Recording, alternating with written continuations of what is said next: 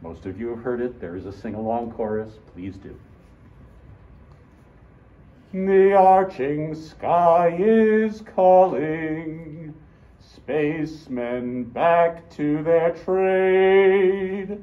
All hands stand by, free falling, and the lights below us fade. Outride the sons of terror, far drives the thundering jet, out leaps the race of earthmen, out far and onward yet. We pray for one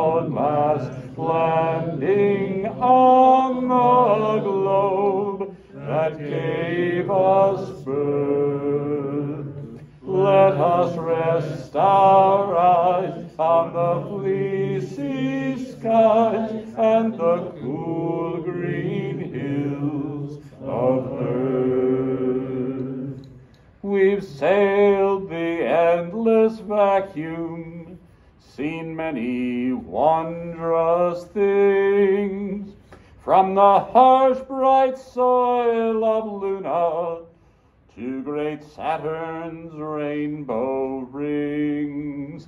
We've tried each spinning space mote and reckoned its true worth.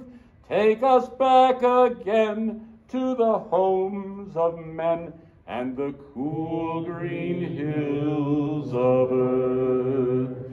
Mi finansur terram ce, ni anascas fer, permitun in vida la, che la. My final watch is over, my travels nearing their end, and my only wish is to feel home soil beneath me once again. Let the sweet fresh breezes heal me as they rove around the girth of our lovely mother planet of the cool green hills of earth. We pray for one last landing on the globe that gave us birth. Let us rest our eyes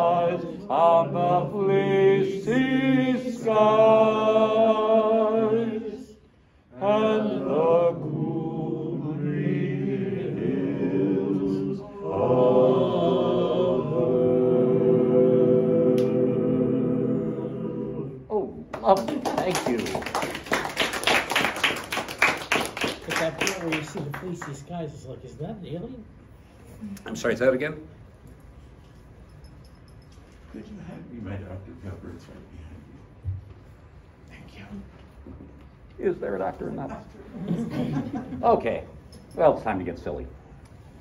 Um, so many great concepts in science fiction, but let's talk a moment about cryogenics. They freeze you, you go to sleep for however long, wake up in a day when they can cure your disease, when the world is hopefully a better place. All, what could go wrong?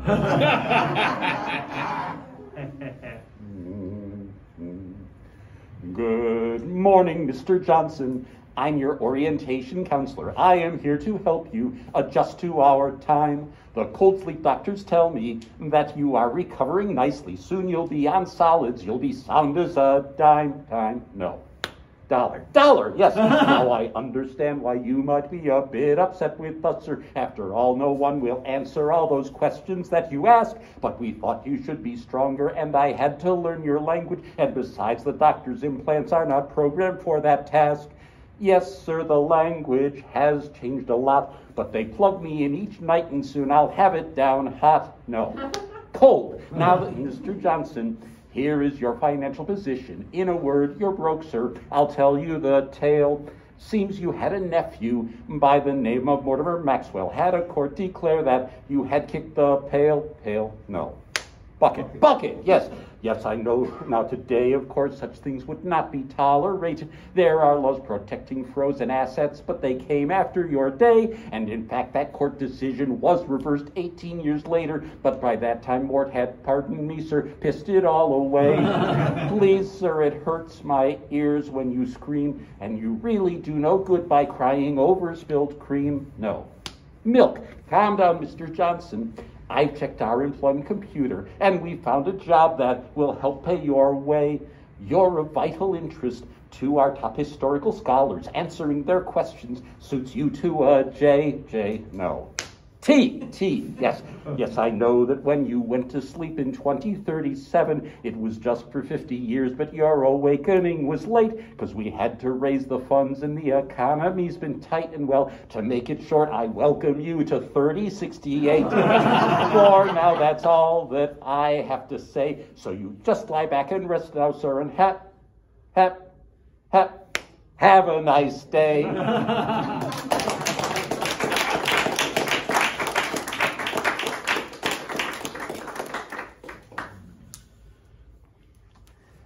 Mostly I'm using this half hour for original stuff, but I'm known for doing horrible things to my friends, so I have to stick in a little something. Um, how many of you were at Shannon's concert? Yeah. So this is what I did to Shannon. this is, well, Mirav came up with the title, but it's mostly my fault. We don't play fair, we're obnoxious and sneaky and pushy. We're tree climbing rats, though we're cute, with our tails so bushy. we're reavers and thieves, and we never look back. We're always out searching for new yards to sack. We'll pillage the gardens and plunder each feeder we've found. Then scamper back up to the clouds, leaving shells on the ground. Debbie just wanted a garden that she could grow plants in. But when she saw what we had done there, she started in ranting.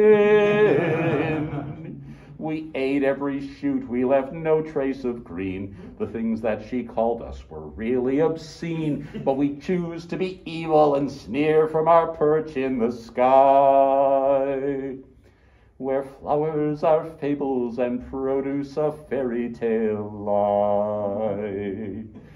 Goldfinch and sparrow and robin and wren, we've stolen your food and we'll steal it again. And Ernie and Tink think we're awful, but then who listens to fairies and elves?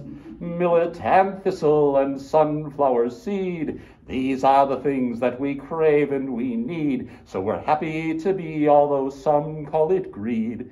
Wicked squirrels feeding ourselves. yes, we're wicked squirrels feeding ourselves.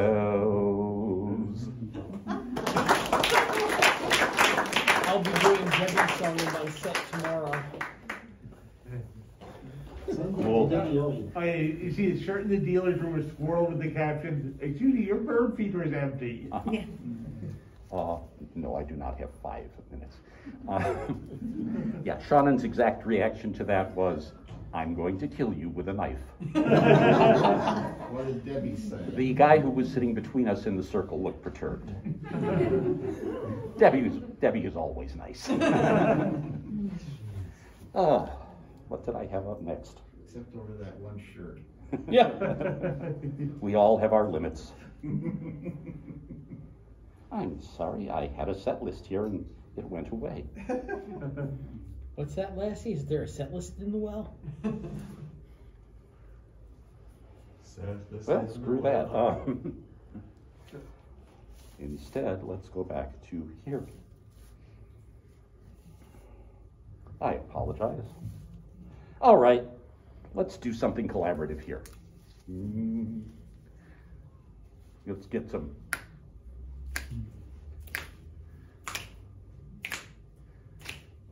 And then a bass slide. Ooh. Well, the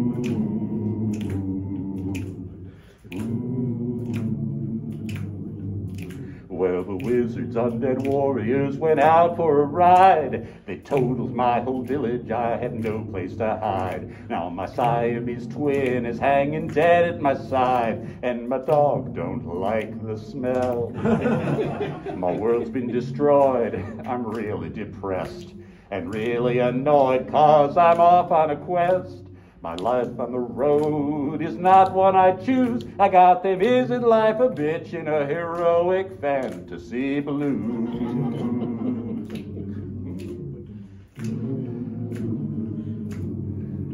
So I'm eating dust, my horse kicks up and cursing my fate. I keep falling off the saddle, which I really hate. But it's hard to keep your balance when your partner's dead weight, and my sunburn hurts like hell. I've slaughtered some thralls, escaped from some traps, been beaten and mauled till I'm ready to snap. My whole body feels like one giant bruise. I got them isn't life a bitch in a heroic fantasy blues.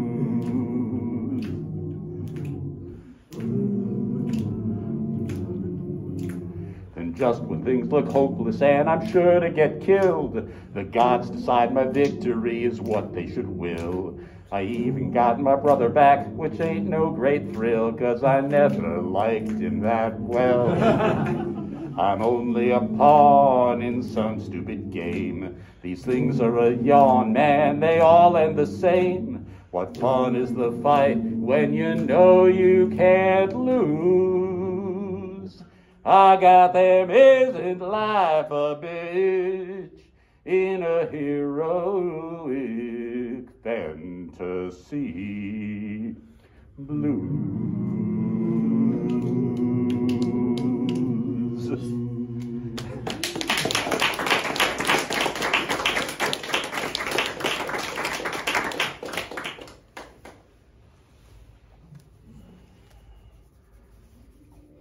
Stupid app lost my set list.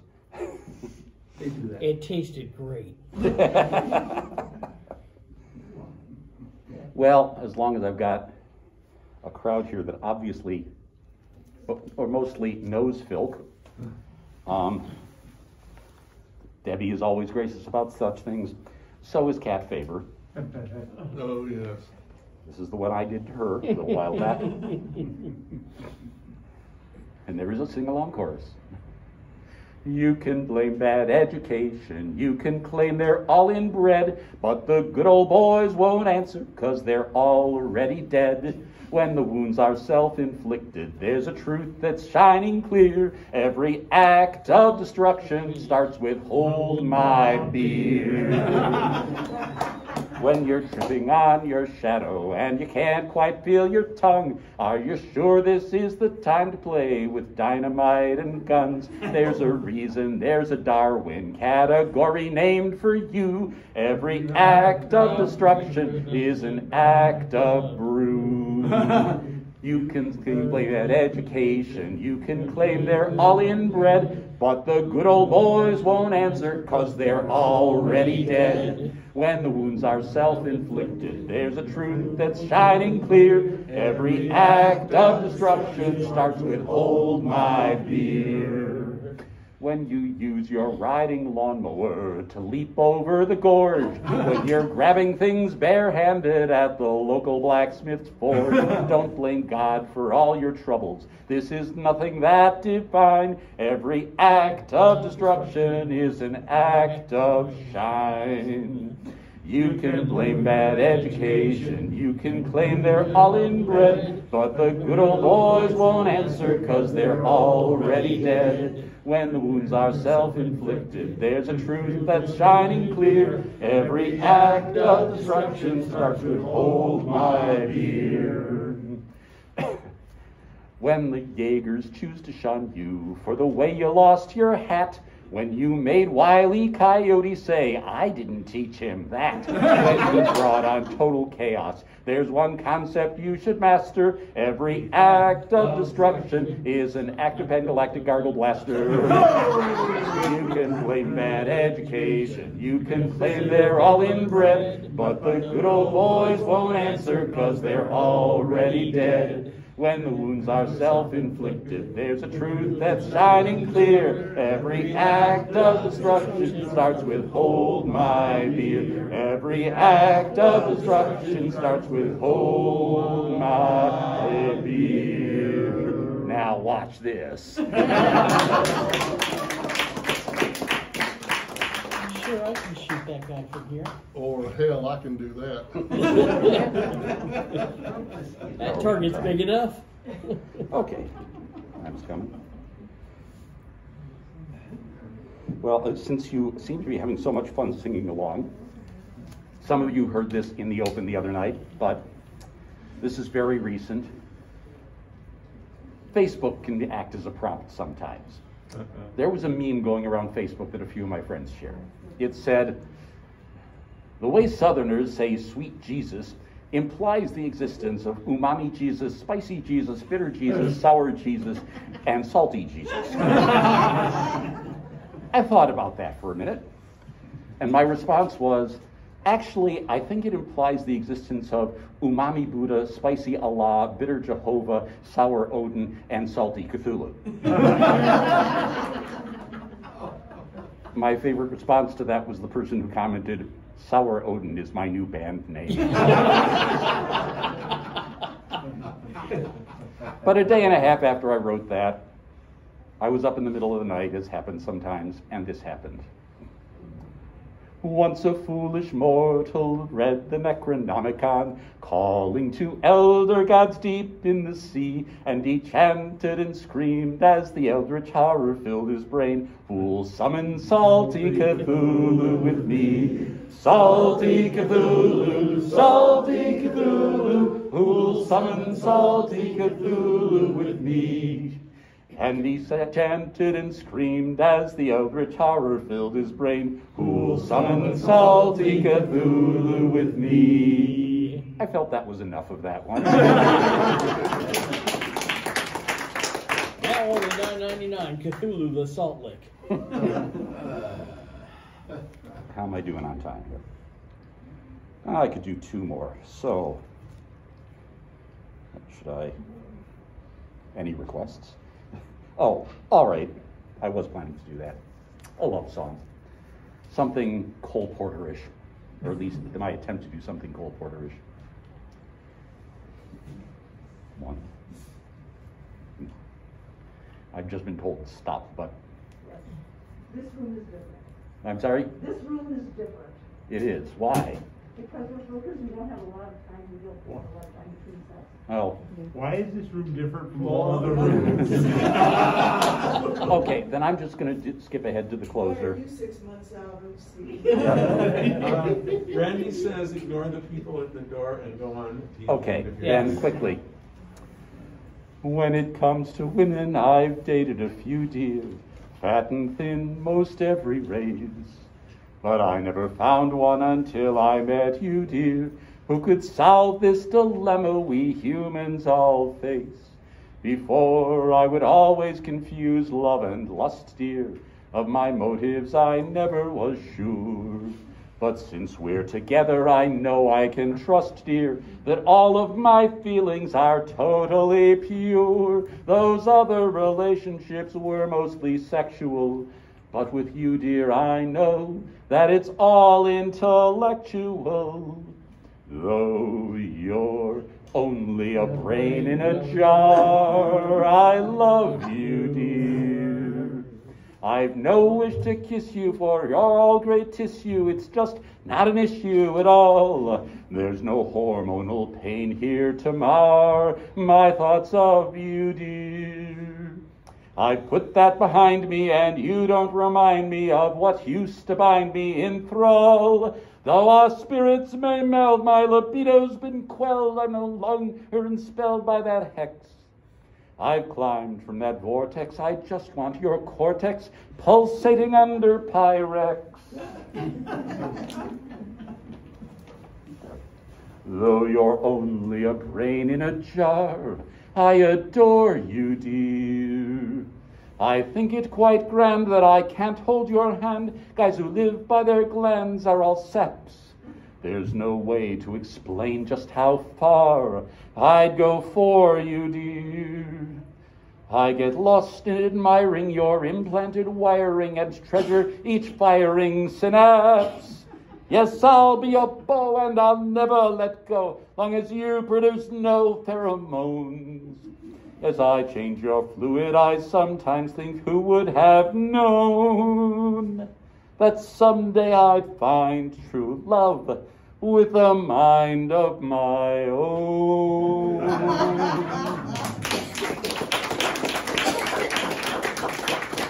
and my upper range just completely abandoned me. Okay, last thing then, and turn serious again. Um, much of what I do in Filk is devoted to trying to welcome people, bring them in, let everyone know that everyone has a place here, everyone is free to express themselves. And that's why I wrote this. Please do sing along. Hi, hi, it's good to see you. No, we haven't met, but I've worn the expression I see there on your face that mix of hope and wonder and a little fear and doubt. But most of us remember from when we first found this place. It's really just a small town, though it stretches round the globe, and the village square's a circle like the one you're in today. And it's thrilling and it's daunting as you try to take it in. So I thought that I should stop and smile and take your hand and say, Welcome home. Though your face may be new, welcome home. We've been waiting for you. Take your place and sing your song here. There's no way to do it wrong here. Welcome home, you do belong here. Welcome home, welcome home. Yes, we'd love to hear you. No, that's not a rule. Whether you perform or not will always be your choice. But if you feel the yearning and don't know where to start, maybe we can sit with you and help you find your voice. Some write, some sing, some strum or bow, and some can do it all. But all of us are listeners, and that's what makes us strong. And if the key's elusive, well, that will come with time. Just sing for joy and for yourself, and we'll all sing along. Welcome home, your may be new. Welcome home. We've been waiting for you. Take your place and sing your song here. There's no way to do it wrong here. Welcome home, you do belong here. Welcome home, welcome home. We'll try to keep you safe here, but people make mistakes. There may be time times we're thoughtless and leave you sick and sore. We hope that you'll forgive us and take the risk again of letting music draw you in to sit with us once more. And if you've come to listen and maybe harmonize, we thank you and we value you, for we know what you bring. Community is sharing, joy shared is multiplied. And even when the mouth is still, the heart and soul can sing. So welcome to our village, welcome to our town. We hope you make new friends and find the things you love to do. And maybe as time passes, you'll find that it's your turn to offer up an empty seat and say to someone new, Welcome home, though your face may be new. Welcome home. We've been waiting for you. Take your place and sing your song here. There's no way to do it wrong here. Welcome home, you do belong here. Welcome home, welcome home. Welcome home, welcome home. Welcome home, welcome home. Thank you all so much.